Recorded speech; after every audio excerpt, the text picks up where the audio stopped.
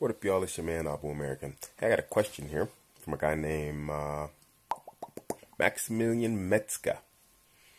And uh, he's asking about BJJ, so I want to answer his question.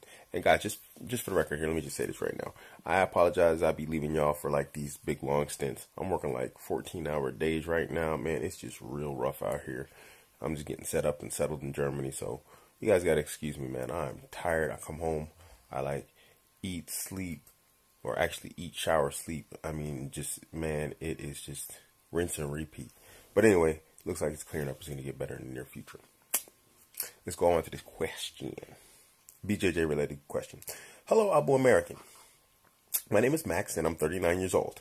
I tried to stay fit for most of my life, mostly through gym and basketball though. And I think Maximilian, you're German, right? Because Metzger is a German name. If for those of you who don't know, that means butcher in German. And um, you said tough here, but though I think I is is what I think. Anyway, let me stop being a, a grammar uh, nutcase. I used to be an English teacher. Sorry. So let me start over. My name is Max. I'm 39 years old, and I try to fit mostly through my life uh, and throughout my life, mostly through gym and basketball. I never really was too much into the martial arts. I was just wondering, do you think I still, or it is still feasible for me to take off BJJ, or I guess you say to take G- BJJ or to start it. I guess is what you're trying to say. I've had a few sessions. I had a few seasons. I had a few sessions and enjoyed it. In addition, I'm a little guy, only 169 centimeters tall, and 64 kg. Yeah, you're a lightweight. I would be happy about any advice and insights. Nice channel, by the way. Thanks for the videos. Many thanks. Kind regards, Max. Max, first and foremost, I want to thank you and you're welcome for the videos, and I thank you for um, the liking my channel. Um, Max, look, I'm a brown belt in jiu-jitsu. I haven't trained for a while just because of my whole transferring and bouncing around the world. But, uh, you know, as a brown belt, I, you know, I started jiu-jitsu when I was 38ish, 39ish, 37, 38ish. So about the same age as you. Um, age isn't really an issue, and we see all these memes online, you know, old guys doing jiu-jitsu. There was this guy, he showed up to, um, Qatar, old guy, older guy. He's not old, old, but his name is like I think it's like Luis or something like this. He's uh, I think he's Puerto Rican. I can't remember exactly, but Hispanic brother. And um, dude came in jujitsu with smashing guys, purple belt. You know, he's an older guy. He wasn't very big either. You know, he wasn't a fat guy or anything. He was real thin, very skinny looking guy. Unfortunately, I didn't get to train with him, but I saw some of the you know the videos and the compliments and the comments from the brothers on the team, and they were saying the guy was quite a beast. You know, for a purple belt, and he was an older guy. I think he was like in his 60s or or coming up on his 70s. I don't think it's too late. We look at Helio Gracie. Helio Gracie practiced up until he died. He died like in his 90s. Age isn't really such a big thing as long as you've kept yourself physically fit and you're not like decrepit and like, you know, walking around like them old people you see in the streets and they just, they can barely walk, let alone do any sports. And even then, I think doing some sort of sport would be better for them. I'm not a medical practitioner, so let me not, you know, put too much into that. But I think, you know, staying active throughout your years, your young years, is better for you in your older years. And Allahu Ta'ala alam. And some people actually recover from doing sports from like, you know, this decrepit creakiness. Um, so I don't think, no, 39 is definitely not too old, man. By far, not too old. Next, you said uh, that you're a small guy, 169 centimeters, 64 kg. Now, this reminds me of a guy. His name was Abu Musa.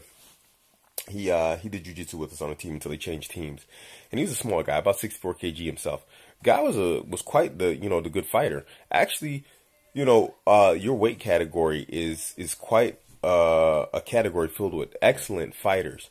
The only time that being a lightweight would be a problem is if you had like a lightweight and a heavyweight, and both were the exact same belt with the exact same techniques and the exact same levels and skills, which is of course impossible because some people are gonna have a better aptitude and this, that, the other.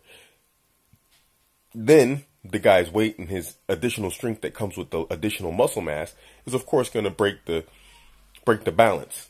But since this isn't really the case, you're going to come to find that like lightweight guys, they're really good. Look at the Miyao brothers. Look at uh, the Mendes brothers. These guys are beasts and they're lightweight. They will smash guys that are significantly larger than them. Now you do have those large guys that are just like uh I can't say his name because it's a Brazilian name, Vinny Mag- Magalhães or something like this. Guy is a, like just a monster, you know, and he he'll smash the heck out of you. Plus he's muscular, you know. There's a lot of muscular fight. Andre Galvão, he's a big guy, excellent technique. But you got small guys like that too. And you got small guys that can fight these guys to a standstill. Look at um uh what's his name? Trains in New York. Oh gosh, he's a legend. How do I forget his name? Marcelo Garcia. Jeez, he's a small guy. Who who beats Marcelo Garcia? It's very rare that he gets beat. Guys, he's a tiny, tiny guy. So size isn't really that big of a thing. You know, technique is more important than power in in, in uh, Brazilian Jiu-Jitsu.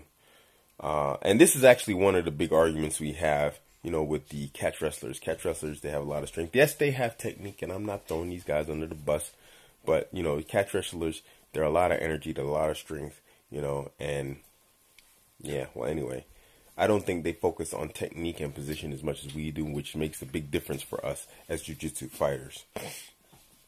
So your size and your age really shouldn't be an issue.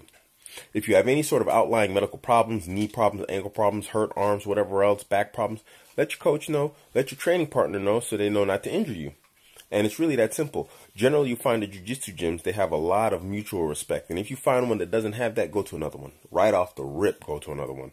Because you're just going to end up with injuries or worse injuries. Even if you're an absolutely healthy person, no injuries whatsoever, past or, or, or you know, whatever, or contemporary, in, you know, current injuries.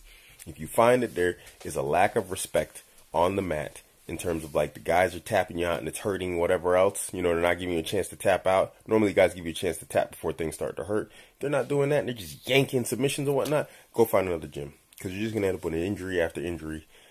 And uh, yeah, you don't need that, man. You don't need that because all it's gonna do. It's like boxing in that sense. If you get into the boxing ring with a guy and he just starts pounding on you, all you're gonna learn to do is this. You're never gonna learn how to fight. You're just going to learn how to try and turn your face away and run away from the guy. And so, you know, you don't want to be in an environment like that in jujitsu. You know, because you'll learn like just messed up stuff to try and protect yourself in your joints, and then it's going to affect your your your jujitsu over time. So, um, I hope that answers your question. Go out there, man, get on the mat, give it a try, and stick with it. I, I advise everyone to learn a fighting sport. I, of course, I have a proclivity towards jujitsu, so I say go for it because you know it's not something that a well, actually, it is something a lot of people do now. But you know, if you you ever end up in a fight, you have the ground to take it to. You know, and most people don't know what they're doing down there. So um, you know, something I suggest. Get to it, man. Go out there, give it a try, and let me know what happens, bro. All right, this is your man, Abu American. Answering the question for Maximilian. Catch you on the B side. Catch me on Instagram, Twitter, and Facebook, all at Abu American. I'm out.